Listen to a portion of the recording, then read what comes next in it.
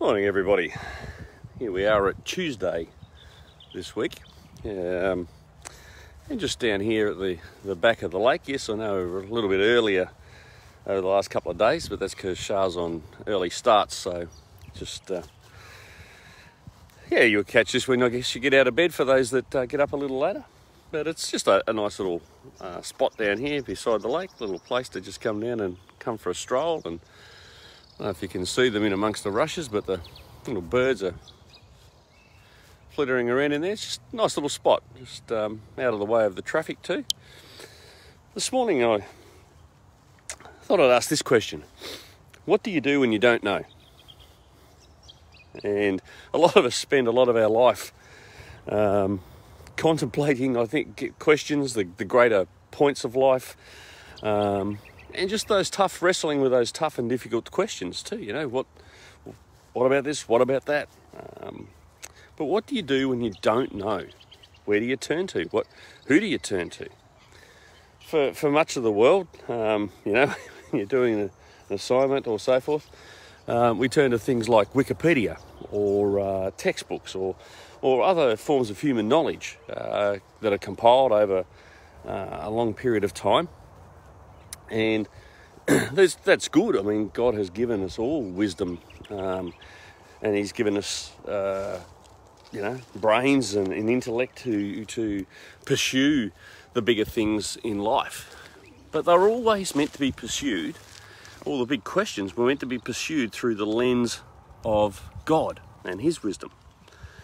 You know, the, the scriptures continually tell us to turn to God. Isaiah 118 says, the Lord says, Come, let us reason together. God wants to have sometimes those difficult conversations with us and those difficult questions we have to ask. He, he wants us to come to Him. This morning, I wanted to take a look at Daniel chapter 2. Now, Daniel chapter 2 um, you know, is, is the bread and butter of Adventist preaching and Adventist uh, eschatology. All the things we, we know about and pursue uh, and try to understand about the end, end times. And we often race right to the really guts of it, what we see, the, the core of it, you know, the, the image, the, the statue part. Um, we want to know about the, the kingdoms and we want to know about the interpretation. But there's a lot that happens before that because, as you know, Nebuchadnezzar has this dream about this, this image and it confounds him. He's, he's stunned by it. He, he knows it's something profound, but he doesn't know what it means. And so he turns to his wise men and they consult Wikipedia of their day, each other. None of them can come up with an idea.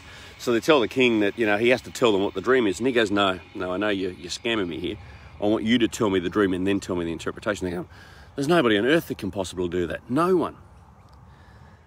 So he sends out Arioch to start culling the wise men from the community.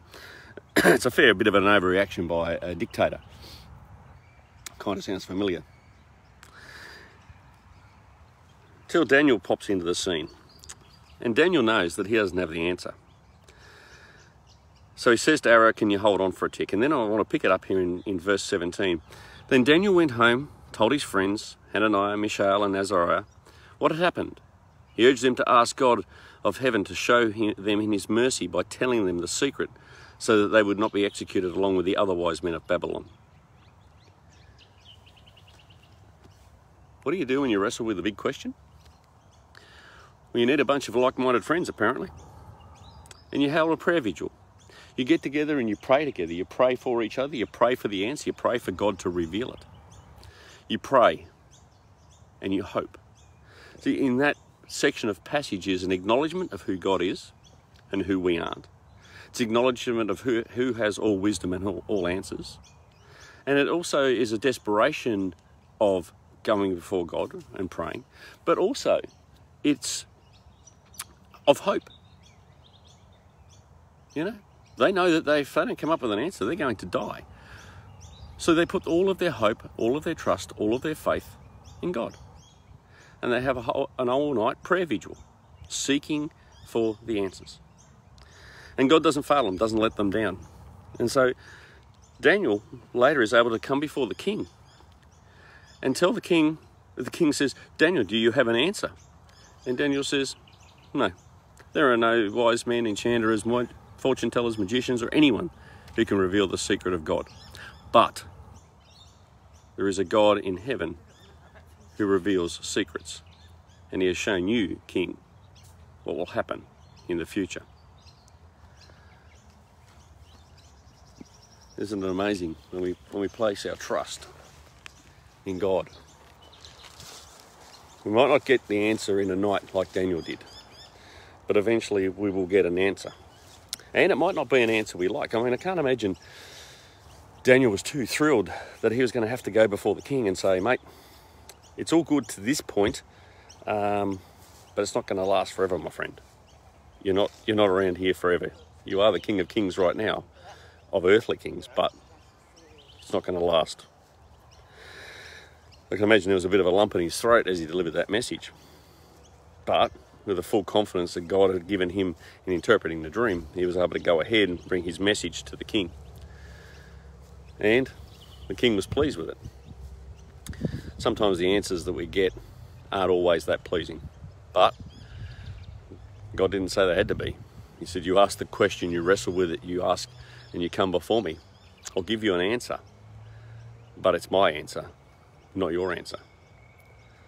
So in Daniel chapter 2, the prayer and the prayer vigil and the seeking of God's wisdom are the most important thing.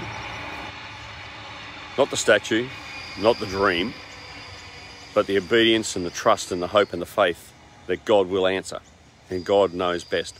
That's the important part of Daniel chapter 2. Let's pray together. Father, I want to thank you this morning that you have all knowledge, that you have all wisdom, and for reasons only you know, Lord, you pass that on to us and you ask us to do it together and to share that knowledge and to, to come before you and seek your wisdom and, and be filled with your Holy Spirit. And I pray that that's what we seek today, that we seek after your face, we, that we are seeking your wisdom. And Lord, if we're not, if we're using our own wisdom, I pray that you help correct us, that we allow you to stop us in our tracks and to correct, to correct, correct us and to, to get us back in harmony with you, Lord. Lord, I pray a blessing upon this day for those who are listening and who will listen later. And may they have a blessed day and may they bless others in it. And Lord, and we just want your return soon, but we know that there are many others who need to hear you, hear about you and what you're doing for them. So we ask for the opportunities that will come in today that we may spread your good news to somebody else. So, Lord, keep us in your care, we ask in Jesus' name. Amen. Well, folks, have a good day. See a few little bottle brushes starting to flower and poke out of the scrub there. Um, like I said, there's great little spots all over Brisbane. You just got to go and sometimes get out and have a look for them and they'll pop up.